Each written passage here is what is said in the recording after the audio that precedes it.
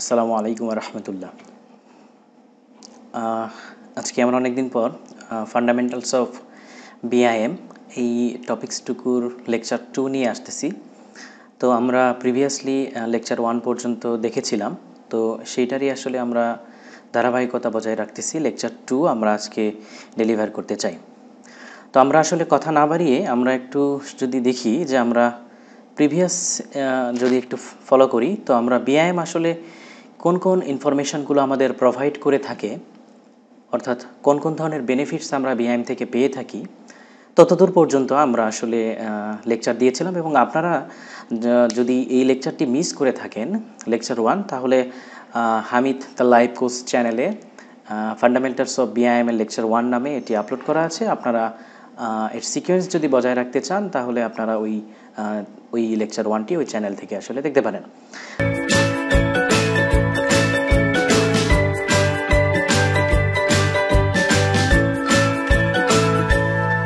তো আমাদের দ্বিতীয় লেকচার আমরা শুরু করছি। আমরা যদি একটু দেখি যে বিআইএম টুলস আসলে আমরা বারবার করেই বলেছি যে BIM is not a software BIM is not individual a software BIM একটা প্রসেস যে প্রসেসটি রান হয় কিছু সফটওয়্যারের দ্বারা, যাকে আমরা বিআইএম টুলস বা বিআইএম প্ল্যাটফর্ম বলে থাকি।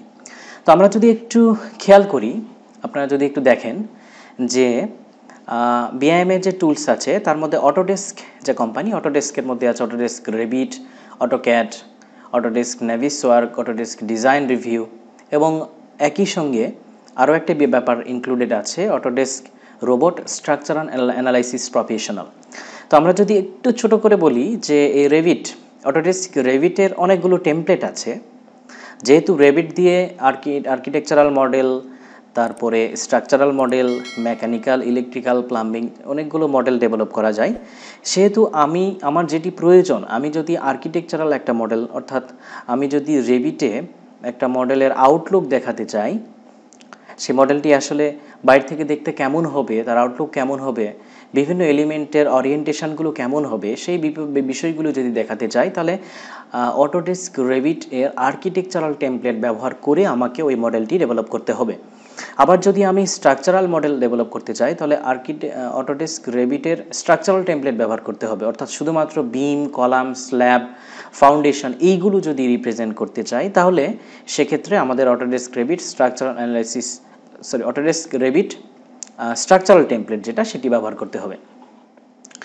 এরপরে হচ্ছে Autodesk রেভিটের mechanical template electrical template plumbing template এগুলো আছে, আমরা যখন মেকানিক্যাল অর্থাৎ এইচ ভ্যাক সিস্টেম ব্যবহার করতে চাইব, তখন আমাদের মেকানিক্যাল টেমপ্লেট ব্যবহার করতে হবে। ইলেকট্রিক্যাল ইকুইপমেন্ট যদি আমরা মডেলে সেট করতে চাই, তাহলে ইলেকট্রিক্যাল টেমপ্লেট ব্যবহার করতে হবে এবং প্লাম্বিং টেমপ্লেট যদি ব্যবহার করতে চাই, আমাদের পাইপ পাইপিং সিস্টেম কেমন হবে, সেই ব্যাপারগুলো যদি দেখাতে চাই, তাহলে আমাদেরকে ওই প্লাম্বিং টেমপ্লেট ব্যবহার করতে হবে। এছাড়াও অটোডেস্ক রেবিটে স্ট্রাকচারাল অ্যানালাইসিসও করা যায়। অটোডেস্ক রেবিটে স্ট্রাকচার অ্যানালাইসিসও করা যায়। তবে এটার একটা আর একটা অল্টারনেটিভ সফটওয়্যার আছে, যেটাকে আমরা বলতেছি Autodesk Robot structural analysis professional তো এইটা দিয়ে এটা এটা, এটার কাজ হচ্ছে যে অটোডেস্ক রেবিটে কোনো একটা স্ট্রাকচারাল মডেল আমরা দাঁড় করিয়ে সেই মডেলটাকে আমরা Autodesk Robot structural analysis professional সফটওয়্যারে বা টুলসে যদি ট্রান্সফার করি সেখানে সে অ্যানালাইটিক্যাল মডেল হিসেবে সেটাকে শো করানো যাবে এবং অ্যানালাইটিক্যাল মডেলের অ্যানালাইসিস হবে এবং ফাইনালি ডিজাইন আকারে reinforcement detailing slab detailing foundation detailing everything সব কিছু ওখানে ডকুমেন্টেশন হিসেবে রিপ্রেজেন্ট হবে পিডিএফ ফরম্যাটে তো এগুলো আমরা আমাদের sessional on building information modelling course আছে, আমরা পরবর্তী যখন সেশনাল ক্লাস শুরু করব তখন এটি একদম হাতে কলমে দেখিয়ে দিব যে আসলে কীভাবে এইগুলো রিয়াল টাইম আউটপুট দিয়ে থাকে। এরপরে আমরা আসি অটোক্যাট আমরা যে অটোক্যাটে কাজ করি this is one kind of BIM tools এবার হচ্ছে এরপরে আমরা দেখি যে অটোডেস্ক ন্যাভিস ওয়ার্ক এর অনেকগুলো ভার্সন আছে অটোডেস্ক ন্যাভিস ওয়ার্ক ম্যানেজ দিয়ে আমরা মূলত কাজ করে থাকি। এটিও আমরা সেশনাল অন বিআইএম বিআইএমে এটি করাবো। তবে জাস্ট আমরা একটু আইডিয়া যদি দিয়ে দিতে চাই, তাই ন্যাভিস ওয়ার্ক অটোডেস্ক ন্যাভিস ওয়ার্ক এর মাধ্যমে আমরা নেটওয়ার্ক নেটওয়ার্ক ডায়াগ্রাম করতে পারি, অর্থাৎ স্কেজুল করতে পারি বা শিডিউল করতে পারি। অর্থাৎ আমার একটা প্রজেক্টের শুরু থেকে শেষ পর্যন্ত কীভাবে কতটুকু টাইম লাগবে, এই টাইমের যে ডিস্ট্রিবিউশন কোন ওয়ার্ক ব্রেকডাউন অর্থাৎ কোন কাজের জন্য কতটুকু সময় লাগবে, এই ব্যাপারগুলো যে টাইমিং ফেস তৈরি করা হয় যেটা নর্মালি এমএস প্রজেক্টেও এমএস প্রজেক্ট আবার এমএস প্রজেক্ট পরে প্রাইমাভেরা পি সিক্স যেসবের মাধ্যমে আমরা নেটওয়ার্ক ডায়াগ্রাম করে থাকি। তো এই নেটওয়ার্ক ডায়াগ্রামগুলো আমরা এই অটোডেস্ক নাবিসওয়ার্ক ম্যানেজের সঙ্গে যখন মার্চ করে দিতে পারব লিঙ্ক আপ করে দিতে পারব, তখন ওই ডায়াগ ওই নেটওয়ার্ক ডায়াগ্রাম অনুযায়ী, ওই শিডিউল অনুযায়ী তখন এই অটোডেস্ক নাবিসওয়ার্ক আমাদের ফুল বিল্ডিংটাকে ফুল প্রজেক্টটাকে সিমুলেশন করতে পারবে। যখন ফুল বিল্ডিংটাকে সিমুলেশন করবে, তখন আমরা বুঝতে পারব যে একটা প্রজেক্টের সিকোয়েন্স কোন এলিমেন্টে আগে আমাদের সম্পাদন করতে হবে? অর্থাৎ সাকসেসার্স অ্যান্ড প্রেডিসেসার্স যেগুলো আছে, সেগুলো আসলে ওভারল্যাপ হলো কিনা, সেগুলো উলটপালট হলো কিনা, বা নির্দিষ্ট সময়ে যতটুকু কাজ হওয়ার কথা, ততটুকু কাজ আসলে হলো কিনা, সেই ব্যাপারগুলো আমরা এই অটোডেস্ক নেভিসওয়ার্ক ম্যানেজ সফটওয়্যারের মাধ্যমে অ্যানালাইসিস করতে পারি।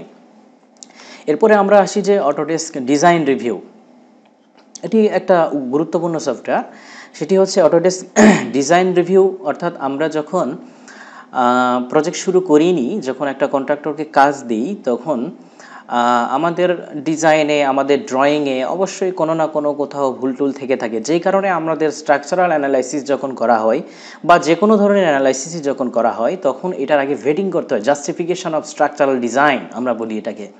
তো স্ট্রাকচারাল ডিজাইনের যখন জাস্টিফিকেশন করা হয়, তখন এই ভুলগুলো ইরো ইরোড হিসেবে বের করে নিয়ে পরবর্তীতে একটা রিপোর্ট দিতে হয় যে হ্যাঁ এই জায়গায় এই ভুলগুলো আছে। তো অটোডেস্ক ডিজাইন রিভিউ সফটওয়্যার যদি আমরা ব্যবহার করি, তাহলে ম্যানুয়াল অ্যাপ্রোচ আমাদের ফলো করতে হবে না।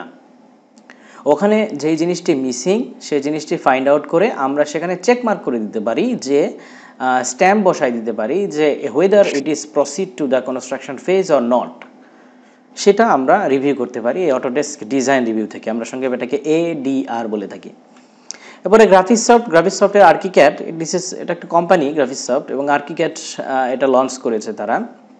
তো এই আর্কিক্যাট দিয়েও আসলে এটা একটা বিআইএম টুলস এবং এ ধরনের অনেক অ্যাক্টিভিটিস আসলে কন্ডাক্ট করা যায়।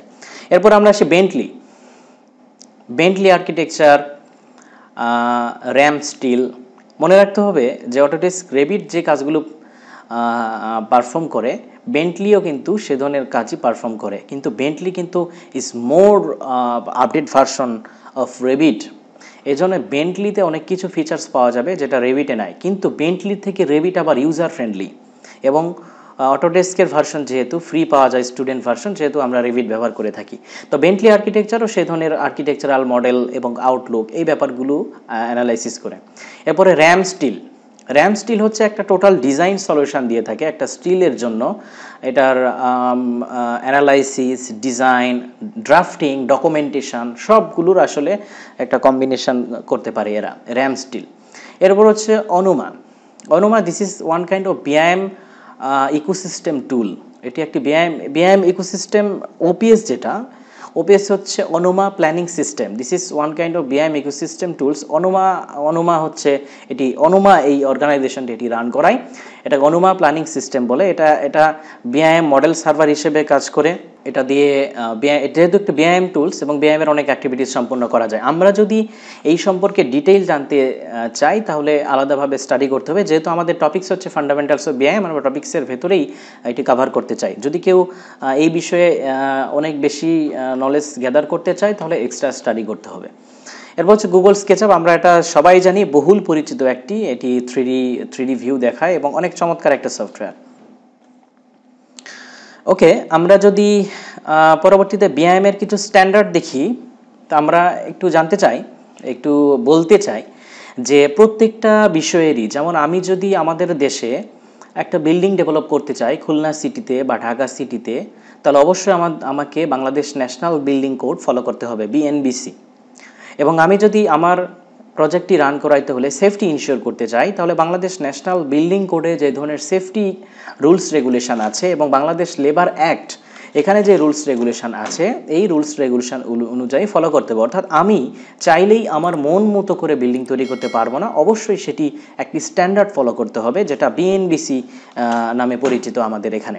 ঠিক তেমনি বিআইএমের কোনো সফটওয়্যার বা বিআইএমের কোনো বিষয় যদি আমরা প্রজেক্টে ইনকর্পোরেট করতে চাই, তাহলে বিআইএমের যেহেতু নিজস্ব স্ট্যান্ডার্ড আছে, সেই স্ট্যান্ডার্ডগুলো আমাদের ফলো করতে হবে। ওকে তো সেক্ষেত্রে আমরা দেখি যে national BIM standard UK BIM standard GSA three D four D building information modelling AGC the contractor's guide to BIM and US national CAD standard available এই স্ট্যান্ডার্ডগুলো আছে। যেইটার জন্য যেটা প্রযোজ্য আমরা সেই স্ট্যান্ডার্ডটি আসলে ফলো করব। মনে রাখতে হবে যে প্রত্যেকটি স্ট্যান্ডার্ডই প্রত্যেকটা দেশের জন্য কার্যকর হবে এমন কিন্তু নয়। যেমন আমরা গ্রিন বিল্ডিংয়ের কথা যদি চিন্তা করি, তাহলে যে লিড সার্টিফিকেশান এর প্রত্যেকটাই আমাদের বাংলাদেশে ইমপ্লিমেন্ট হবে এমন কিন্তু নেই, এমন কিন্তু কথা নেই। সুতরাং পার্সপেক্টিভ আলাদা হতে পারে, কিছু কিছু বিষয় আলাদা হতে পারে, কিন্তু সেক্ষেত্রে আমাদের কিছু বেসিক বিষয় আছে, সেগুলো অবশ্যই সেম থাকবে। তো এই বিআইএমে যখন আমরা কোনো প্রজেক্টে বিআইএম ইমপ্লিমেন্ট করতে যাব, আমরা এই এই স্ট্যান্ডার্ডগুলো আসলে ফলো করব। এই স্ট্যান্ডার্ডগুলো আসলে কি বলে, কোন কোন ইনফরমেশানগুলো এই স্ট্যান্ডার্ড ধারণ করে, সেই ব্যাপারগুলো যদি আমরা জানতে চাই, আলাদা স্টাডি করতে হবে, যেহেতু আমরা টপিক্সের বাইরে যাব না, এটা নিয়ে আমরা আলোচনা করছি না। ওকে এরপরে আমরা একটা বিষয় একটু বলি যে বেনিফিটস অফ বিআইএম আমরা আসলে বিআইএম ব্যবহার করব আমরা আসলে ব্যায়াম ব্যায়াম কী করবে? আমাদেরকে কীভাবে উপকৃত করবে? সেটা যদি একটু দেখি, আমরা এখানে এখানে দেখতে পাচ্ছি যে visualisation primarily addresses the benefits to an individual and the improvement in her or his personal understanding as a result of using the BIM. Visualisation is a prime benefit of using BIM.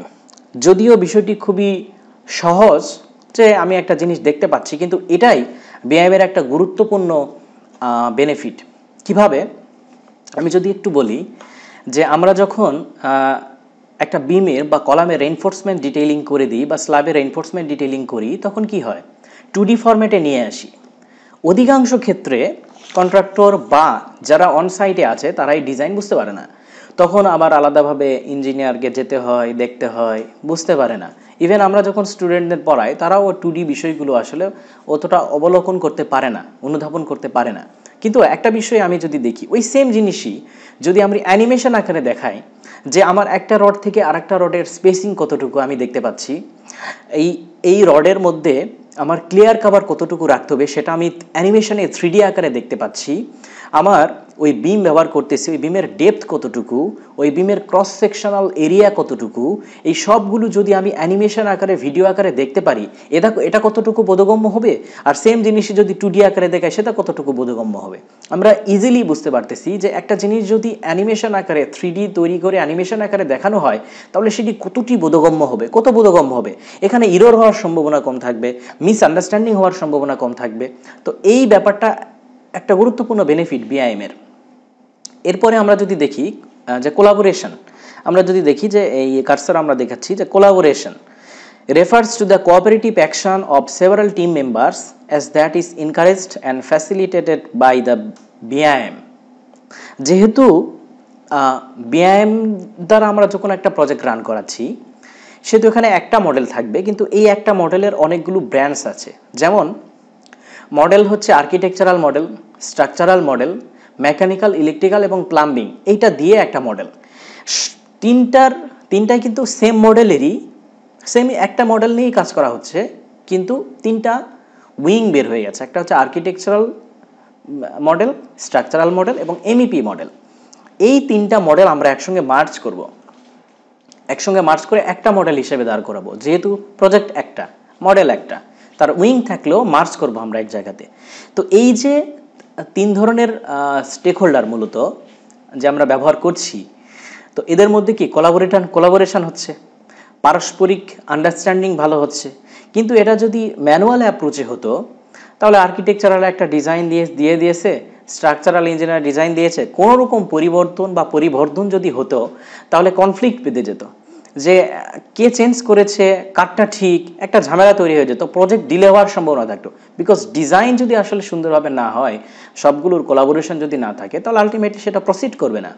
সে কারণে এখানে যেহেতু এই ধরনের সুযোগটা আছে multiple stake holder একত্রে কাজ করার একটা সুযোগ পায়, সেহেতু কোলাবোরেশনটা অনেক বেশি ইফেক্টিভ হয়। এরপরে আমরা দেখতেছি elimination this elimination addresses mostly project related benefits such as reduction of conflict waste and risk একটা ব্যাপার বলি, যখন আমরা আর্কিটেকচারাল এমইপি এবং স্ট্রাকচারাল মডেলকে একটা মডেল হিসেবে মার্চ করে দিলাম অ্যাসেম্বল করলাম, তখন হতে পারে যে এমইপি মডেলের সঙ্গে স্ট্রাকচারাল মডেলের ক্লাস হয়েছে। হতে পারে যে আর্কিটেকচারাল মডেলের সঙ্গে স্ট্রাকচারালের ক্লাস হয়েছে। অর্থাৎ একটা, আরেকটার উপর সম্পূর্ণভাবে হোমোজেনাসলি প্রতিফলিত নাও হতে পারে। ক্ষেত্র বিশেষে একটা আরেকটার উপর ঢুকে যেতে পারে ওভারল্যাপ হতে পারে ব্যাপারগুলো হতে পারে। তখন কি হবে? আমি যদি প্রি কনস্ট্রাকশন ফেজে অর্থাৎ কনস্ট্রাকশনে যাইনি, তার আগে যদি এটি ইনশিওর করতে না পারি যে আসলে ক্লাস হয়েছে কি না, যখন আমি কনস্ট্রাকশনে চলে যাব, তখন গিয়ে দেখবা দেখব যে এমইপির সঙ্গে আমার স্ট্রাকচারালের ক্লাস হয়েছে। অর্থাৎ এমন একটা জায়গা দিয়ে পাইপ ঢুকে গেছে যে ওইখানে কেটে ফেলতে হবে, ভেঙে ফেলতে হবে। তো যখন আমরা কেটে ফেলতেছি, যখন আমরা ভেঙে ফেলতেছি, তখন কি হচ্ছে? ওই, ওইটুকু অংশের জন্য আমাদের আলাদা কস্ট দিতে হচ্ছে প্রজেক্ট ডিলে হচ্ছে, আবার পুনরায় ক্ষেত্রবিশেষে রিওয়ার্কও করা লাগতে পারে। তো এইগুলো আসলে ঝামেলা কর। সে কারণে প্রি কনস্ট্রাকশন ফেজে বিআইএম সিমুলেশন করে। অটোডেস্ক আমরা কিছুক্ষণ আগে বললাম অটোডেস্ক নেভিস ওয়ার্ক ম্যানেজের মাধ্যমে সেটি সিমুলেশন করে। সিমুলেশন করে কোনো ধরনের ক্লাস যদি দেখা যায়, তাহলে ওই ক্লাসগুলো কনস্ট্রাকশন ফেজে যাওয়ার আগেই আগেই সেগুলো সলভ করে দেওয়া হয়। ফলে সেখানে যে কনফ্লিক্ট তৈরি হতো বা একটা রিস্ক থেকে যেত প্রজেক্ট ডিলে হওয়ার বা যে একটা সলিড ওয়েস্ট জেনারেট হতো, সেগুলো যদি কনস্ট্রাকশন ফেজে যেত, তাহলে ওটার সলিড ওয়েস্ট জেনারেট হতো। তো সলিড ওয়েস্ট জেনারেট হলে কি হতো? দেখেন, এই ব্যাপারগুলো কতটি ইম্পর্টেন্ট কতটি এনভায়রনমেন্টের সঙ্গে জড়িত? যখন এটি সলিড ওয়েস্ট জেনারেট করল, আমরা জানি যে এই সলিড ওয়েস্ট কনস্ট্রাকশনে অনেক ধরনের সলিড ওয়েস্ট জেনারেট হয় এবং এই সলিড ওয়েস্টগুলোর মধ্যে অনেক ধরনের পার্টিকুলেট ম্যাটেরিয়াল থাকে, যেগুলো আমরাকে PM PM two point five PM ten বলে থাকি। অর্থাৎ পার্টিকুলেট ম্যাটেরিয়াল যার রেডিয়াস হচ্ছে টু পয়েন্ট ফাইভ মাইক্রোমিটার যার রেডিয়াস হচ্ছে টেন মাইক্রোমিটার তো এইগুলো আলটিমেটলি কি হয়? এইগুলো এতটাই সূক্ষ্ম এতটাই সূক্ষ্ম যে মাইক্রোস্কোপ দিয়েও এদেরকে দেখা সম্ভব হয় না। এগুলো নিঃশ্বাসের সঙ্গে গিয়ে আমাদের ফুসফুসে গায়ে ব্লক তৈরি করে ক্যান্সার হওয়ার সম্ভাবনা থাকে। তার মানে এগুলো কিন্তু পরিবেশের জন্য খুবই হার্মফুল খুবই ক্ষতিকর।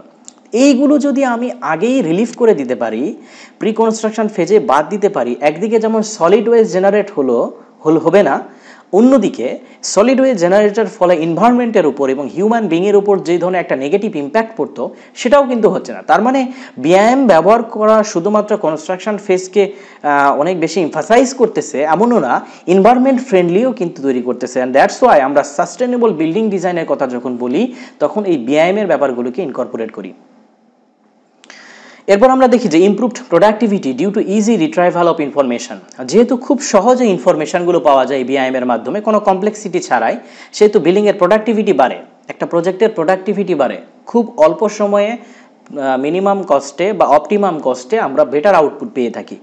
এবার হচ্ছে increased coordination increase coordination of construction documents যে বিআইএম আমরা একটি প্রজেক্ট রান করালে যেহেতু সেটি মডেল বেসড সেখানে আসলে মডেলের সঙ্গে মডেলের কমিউনিকেশন মডেল থেকে ইনফরমেশন আমরা নিই। তারপরেও অনেক ডকুমেন্টেশন আমাদের হার্ড কপি হিসেবে নিতে হয়। সেগুলোর মধ্যে কোঅর্ডিনেশন বাড়ে বিআইএমবাইয়ের মাধ্যমে। এরপর হচ্ছে embedding and linking of vital information such as vendor for specific materials, location of the details, and quantities required for estimation and tendering এখন ব্যাপারগুলো এতটাই অটোমেটেড হয়ে গেছে যে আমরা কোনো একটা ভেন্ডরের কাছ থেকে যদি কোনো ম্যাটেরিয়াল নিয়ে আসি, আমরা সিম্পল একটা ক্লিকের মাধ্যমে বার কোডিং সিস্টেমের মাধ্যমে আমরা সেই ম্যাটেরিয়ালের স্পেসিফিকেশান পেয়ে যেতে পারি, ওই ম্যাটেরিয়ালটির লোকেশান পেয়ে যেতে পারি, কিংবা এমনও অনেক আছে যে ওই কোয়ান্টিটি মেজার করতে পারি এস্টিমেশন করতে পারি। এই সামগ্রিক ব্যাপারগুলো খুবই সহজে ইজিলি করতে পারি, যেটা একজন মানুষ বা একজন গুড বা স্কিল্ড এস্টিমেটর করলেও অনেক বেশি টাইম লাগতো এবং অনেক বেশি কস্ট হতো। যেটা আমরা বিআইএমের মাধ্যমে খুব ইজিলি করতে পারি। এবার increased speed of delivery increased speed of delivery তো যেহেতু সময় কম লাগতেছে ডিলে হওয়ার সম্ভাবনা কম থাকতেছে রিস্ক কমে যাচ্ছে, সেহেতু প্রজেক্টটি খুব তাড়াতাড়ি ডেলিভার করা ডিসপোজ করা, অর্থাৎ যিনি অনার তাকে হ্যান্ডওভার করার সময়কালটা আসলে কমে যাচ্ছে স্পিডে স্পিডি কাজ হচ্ছে। এরপর হচ্ছে রিডিউস কস্ট আমরা কিছুক্ষণ আগেই এক্সাম্পল দিলাম যে যদি ক্লাস হয়, তাহলে সলিড ওয়েস্ট জেনারেট হয়।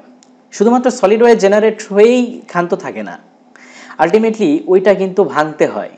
যেখানে ক্লাস হচ্ছে, সেটা ভেঙে ফেলতে হবে। যদি কনস্ট্রাকশন ফেজে চলে যায়, তো সেখানে একটা কি? আলাদা লেবার দিতে হবে, আলাদা কস্ট আসবে। ক্ষেত্র বিশেষে সেটা রিওয়ার্ক করাও লাগতে পারে। তো রিওয়ার্ক করতে হলে সেখানে আলাদা কস্ট হবে। তার মানে কস্ট বেড়ে যাইতো কিন্তু বিআইএম ব্যবহার করে আমরা প্রি কনস্ট্রাকশন ফেজে সিমুলেশন করার মাধ্যমে ক্লাস ডিটেকশন করতেছি এবং ওইখানেই এগুলো রিজার্ভ করতেছি কনস্ট্রাকশন ফেজে যাওয়ার আগে। ফলে ওই ধরনের কস্ট যেটা কনস্ট্রাকশন ফেজে গেলে জেনারেট হতো, সেটা হচ্ছে না। তার মানে কস্টটা আমরা কি করতেছি?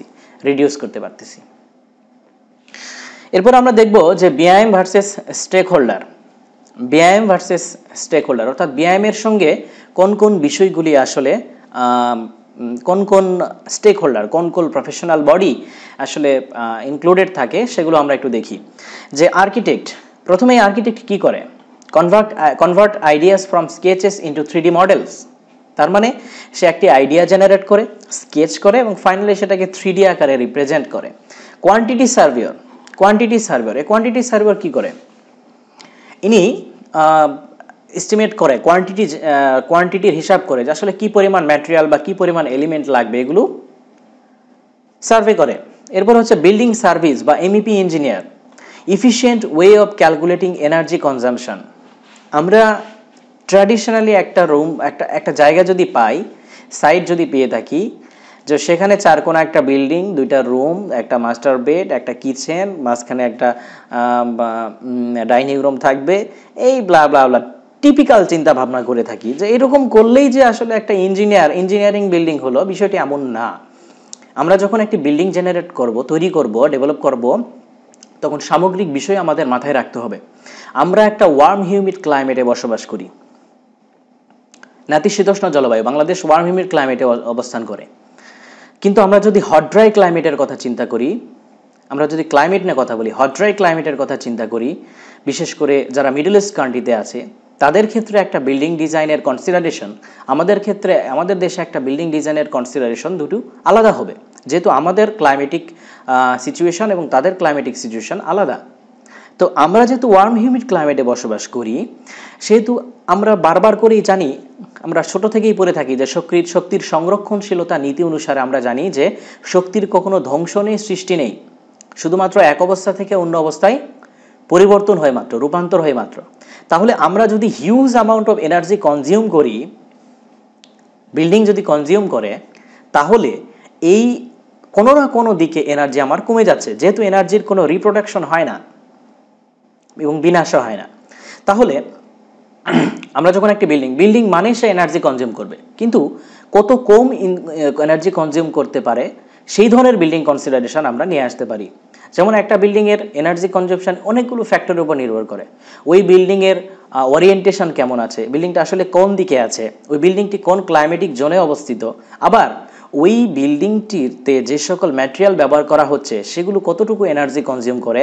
বা ওই ওই ওই বিল্ডিংয়ের যে ওয়ালে কোনো ইনসুলেটিং ম্যাটেরিয়াল ব্যবহার করা হচ্ছে কিনা, সেই ব্যাপারগুলো অনেক কনসিডারেশন এখানে আসে। তো আমরা যখন বিল্ডিং ডিজাইন করি, তখন এই ব্যাপারগুলো কিন্তু মনে রাখতে হবে যে আমার বিল্ডিং কত কম এনার্জি কনজিউম করে। যেহেতু আমি যদি এখানে এনার্জি কম সেভ কম কনজিউম এনার্জি কনজামশন রেট কমাতে পারি this is very effective for this is very effective in the context of Bangladesh ঠিক আছে? এরপর আমরা আছি structural engineer structural engineer structural engineer কি করে? যে ওই বিল্ডিং যেই বিল্ডিংটির শেপ দিয়েছে থ্রি ভিউ দিয়েছে আর্কিটেক্ট সে কি করে? ওই বিল্ডিংটি ডিজাইন করে। এবং আমি সবগুলোই বলতেছি, এগুলো বিআইএম এর মাধ্যমে সলভ করা। ট্র্যাডিশন ট্র্যাডিশনাল বা ম্যানুয়াল অ্যাপ্রোচ নয়। Autodesk Robot Structural Analysis Professional এর মাধ্যমে আমাদের ফুল ফুল বিল্ডিংয়ের স্ট্রাকচারাল অ্যানালাইসিস করা যায়। এটা স্ট্রাকচারাল ইঞ্জিনিয়াররা করে থ্রি মডেলের সঙ্গে এটার ইন্টিগ্রেট করে। এরপর হচ্ছে প্রজেক্ট ম্যানেজার প্রজেক্ট ম্যানেজার ওই সমস্ত ডিটেলসগুলো নিয়ে সে পুরো একটা স্কেজুল তৈরি করে নেটওয়ার্ক ডায়াগ্রাম ড্র করে এবং সেটা ফাইনালি অটোডেস্ক ওয়ার্ক ম্যানেজের মাধ্যমে নিয়ে গিয়ে সিমুলেট করে হোল প্রজেক্ট সিমুলেশন করে। সিমুলেশন করে সে দেখতে পায় যে একটা নির্দিষ্ট সময় পর আমার প্রজেক্টের কতটুকু কাজ শেষ হওয়ার কথা। এবং এটা যদি আমি কনস্ট্রাকশন ফেজের সঙ্গে সরাসরি রিলেট করে দিই, তাহলে বুঝতে হবে যে, বোঝা যায় যে আমার এই প্রজেক্টটি ছয় মাস পর বা এক বছর পর কতটুকু হওয়ার কথা ছিল আর কতটুকু কাজ সম্পন্ন হয়েছে। দ্যাট মিনস আমরা আর্ন ভ্যালু ম্যানেজমেন্টের মাধ্যমে বা আর্ন ভ্যালু অ্যানালাইসিস করার মাধ্যমে যে একটা বিল্ডিংয়ের বা একটা প্রজেক্টের যে কোনো সময় স্ট্যাটাস মেজারমেন্ট করতে পারি, সেটা কিন্তু ওই ওইখান থেকেও বোঝা যায় যে একটা সিমুলেশনের মাধ্যমে বোঝা যায় যে আমরা নির্দিষ্ট সময় পর আমার বিল্ডিংয়ের কতটুকু কাজ সম্পাদন হওয়ার কথা ছিল, কতটুকু হয়নি, এই ব্যাপারগুলো আমরা এখান থেকে পেতে পারি। এরপরে হচ্ছে contractor reduce risk reduce risk and error and gain profit যেহেতু এটি একটা স্মার্ট টেকনোলজির ব্যবহার ভিআইএম সেহেতু এখানে ইরোর হওয়ার সম্ভাবনা কম ডিলে হওয়ার সম্ভাবনা কম রিস্ক কম থাকে। কন্ট্রাক্টর অনেক বেশি প্রফিট গেইন করতে পারে। ট্র্যাডিশনাল মেথড হলে সেখানে অনেক ধরনের ঝামেলা হতো। একটা লেবার যদি মারা যেত, যায়, তাহলে তাকে কম্পেনসেশন দিতে হবে। সু হতে পারে। মামলা হয়ে সে সেই প্রজেক্টটি ঝামেলা হতে পারে। স্ট্রাইক হতে পারে। লেবার স্ট্রাইক হতে পারে, এইগুলোর অনেক ঝামেলা হতে পারে। কিন্তু যেহেতু ব্যায়াম ব্যবহার করে আমরা একই প্যারালালি সেফটি ইনশিওর করি, সেহেতু এখানে লেবার ফ্যাটালিটিস হওয়ার সম্ভাবনাও কিন্তু খুবই কম রিস্ক কম।